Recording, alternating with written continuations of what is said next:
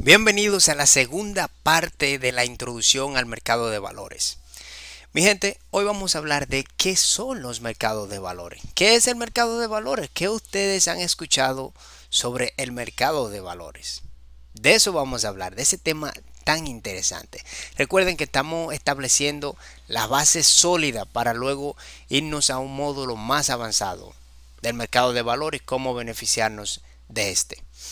Otra cosa, te recuerdo suscribirte y ver el video anterior que acabo de publicar. Y sígueme en las redes sociales también, como arroba creador de imperios o arroba soy Willy Abreu. Señores, hablamos de los mercados de valores. Miren, el mercado de valores es igual que cualquier otro mercado, como, como puse aquí precisamente. El mercado de fruta, ¿a qué tú vas al mercado de fruta? Señores, el mercado de fruta, uno va a buscar las mejores frutas uno va a comprar naranja, a comprar manzana, a comprar cualquier tipo de fruta. Pero cuando uno va al mercado, ¿sabe qué uno quiere? Uno quiere encontrar la fruta con la mejor calidad y no obstante eso, al mejor precio posible. Así funciona este tipo de mercado también. Cuando tú entras al mercado, tú quieres encontrar la mejor compañía y al mejor precio posible. ¿No me entiendes? O el mejor producto no solamente compañía, sino el mejor producto al mejor precio posible y que te dé las mejores ganancias en el mercado de valores.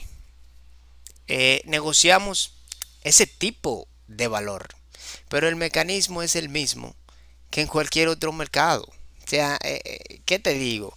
Todos los participantes buscan beneficiarse de los precios en su, en su gran mayoría o de las ventas de su producto. Mm, así, tan simple como eso. Señores, mire, eh, aquí hay una definición muy interesante. Una definición al mercado de valores es que es una alternativa al sistema bancario. Si ustedes se fijan, en el video anterior hablamos de la historia. Desde que se comenzó este mercado, el objetivo principal de, quienes empiezan a participar, de quienes emiten algún título o, o las acciones de su empresa, es buscar capital. Entonces eso sustituye la actividad bancaria.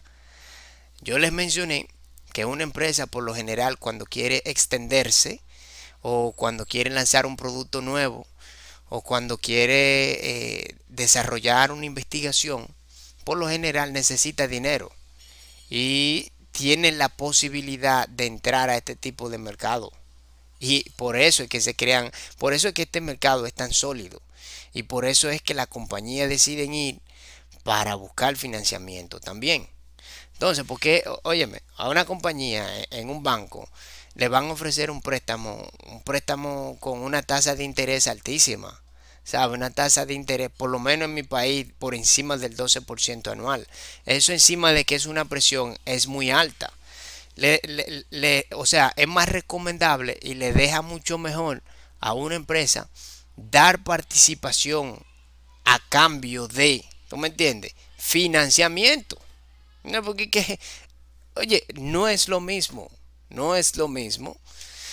Y hay mucha ventaja al respecto. Y eso es el mercado de valores. Ahora, el mercado de valores, tal y como vemos aquí en esta imagen, que esta imagen es de una casa de bolsa que se llama Tibalsa aquí en República Dominicana, pero funciona igual en todos los países. Eh, eso lo veremos más adelante también al detalle. Eh, tenemos emisores, la bolsa de valores y los inversionistas. Eso conforman el mercado de valores. Prácticamente, porque es un, eh, el mercado de valores realmente es la actividad, o sea, la actividad de, de emitir un valor y ese valor ser vendido o comprado, etcétera. Ahora, la bolsa de valores es diferente.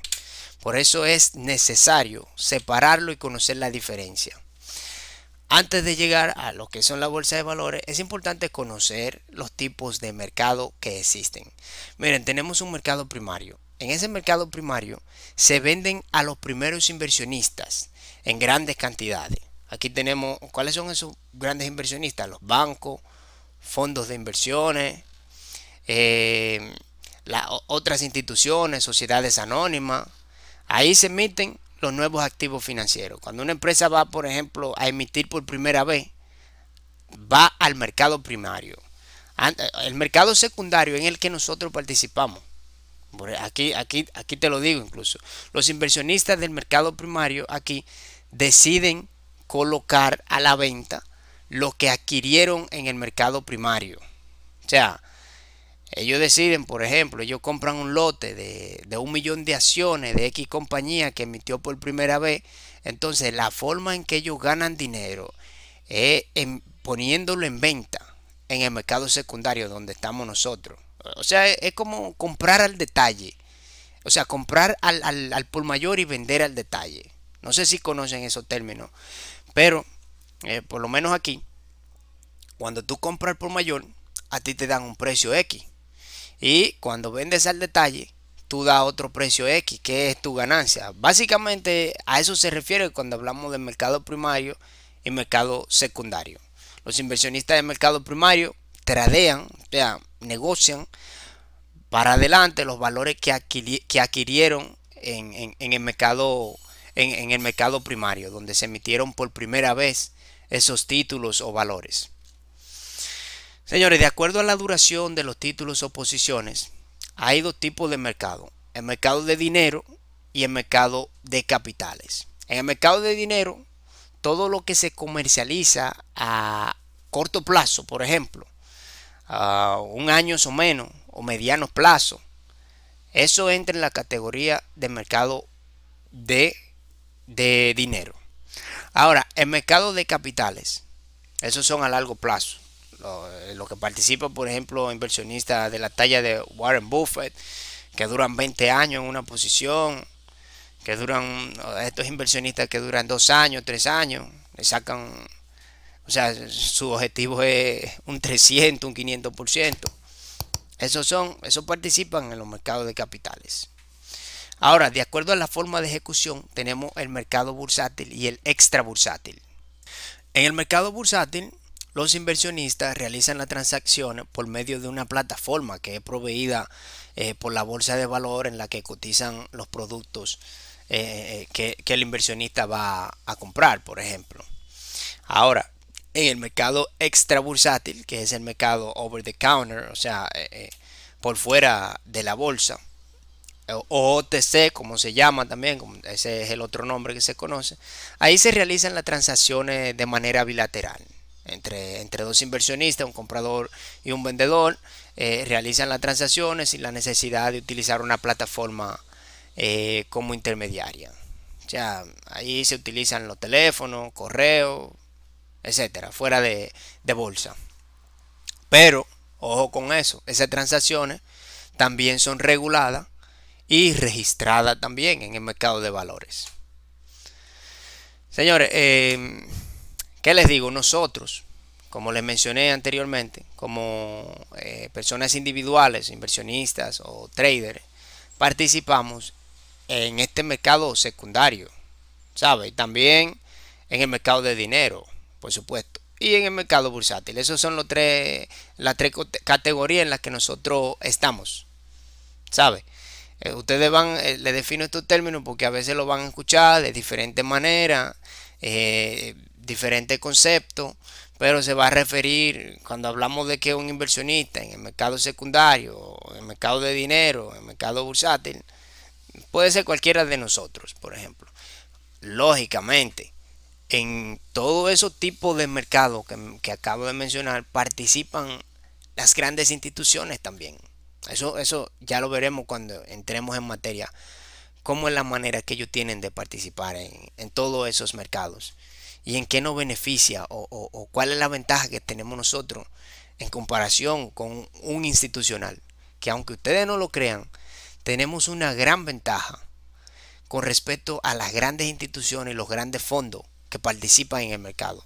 Por supuesto, ellos tienen otras ventajas también, pero eso lo veremos y lo aprenderemos en, este proceso, en este proceso educativo. Em, entonces, eh, este es el mercado nuestro, el mercado secundario. Ahí ya cuando una compañía es emitida aquí en el mercado primario, que lo compran eh, las grandes instituciones o los grandes fondos de inversión, ellos tiran para adelante las acciones que compran o, un porcentaje de las acciones que compran, por ejemplo. Entonces, donde ellos ofrecen esas acciones es en el mercado secundario. O sea que cualquier inversionista puede invertir. Señores, lo dejo hasta aquí por ahora. Recuerden suscribirse y ver el, el video próximo donde hablaremos ya de qué son las bolsas de valores, eh, cómo es eso por dentro, eh, un broker, etcétera.